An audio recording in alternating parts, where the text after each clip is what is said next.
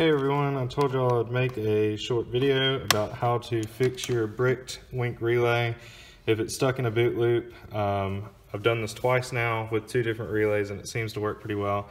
So what you'll need, you'll the easiest way to do this is to use the, the wall adapter. I have mine taped up, uh, don't judge, non-electrical tape here, uh, just so that I can plug it in and out of the wall easily.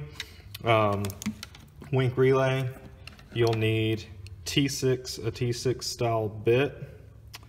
Um, you'll take these four screws out and you'll carefully pry up from one side.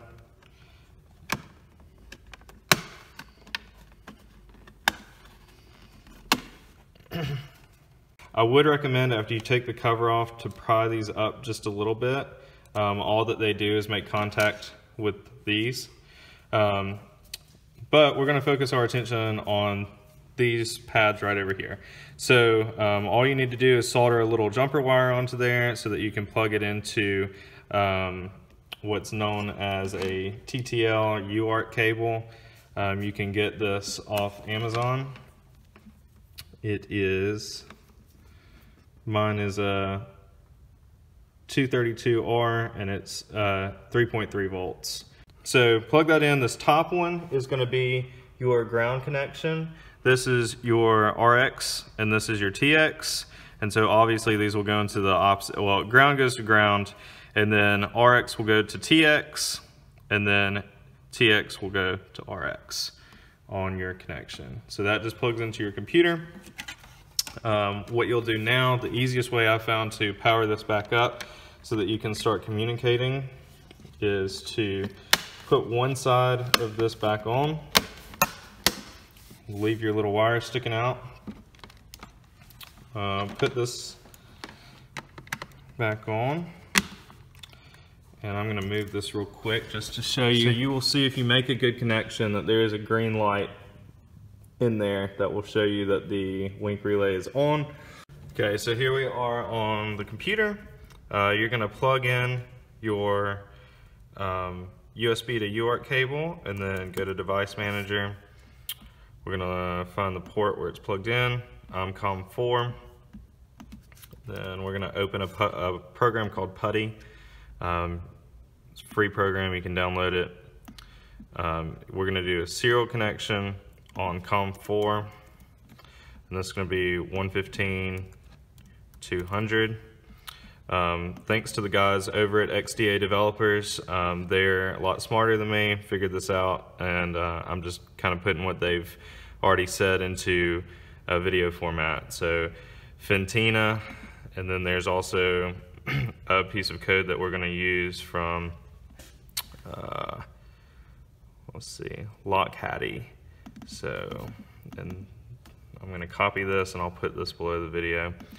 Um, basically, what happens here, the problem is, um, from my diagnosis at least, is that the Wink relay somehow loses its Wi-Fi connection on a reboot. And um, I don't know why this is, but with without Wi-Fi, it refuses to boot all the way into the Wink Relay app.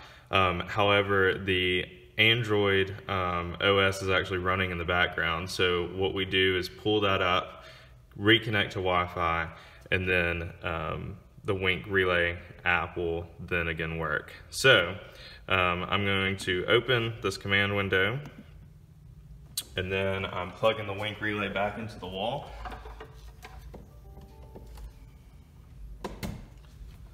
And you'll see we're getting a U-boot screen. Sorry, my screen is so glossy. Um, none of this really matters. What we're gonna do is just wait for a second for it to finish some of its boot up processes.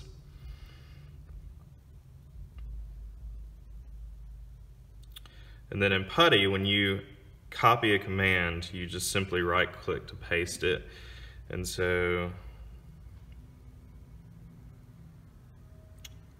see. So we're getting a permission denied on a UID. So I'm gonna go ahead and paste this and see if it, if it works.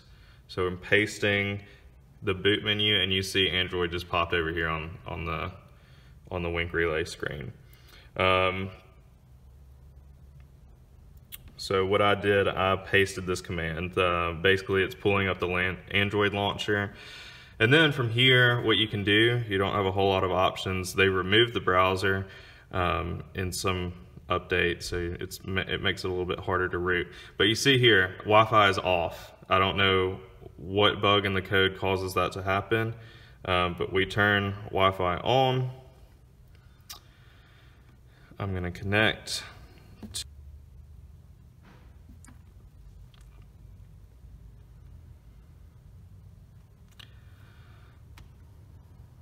And then there is no home button, so this is you have to paste this command again. So that that that command basically is a simulated home button. So we're gonna paste the Android launcher thing again, and you see it took me back to the menu. So now we can open the Wink Relay app, and there we go. It's asking for me to log in. I'll go ahead and do that, and then when you restart, everything should be good to go. So I hope this helps some of you out. Um, if you have any questions, let me know. I'll be glad to try to help.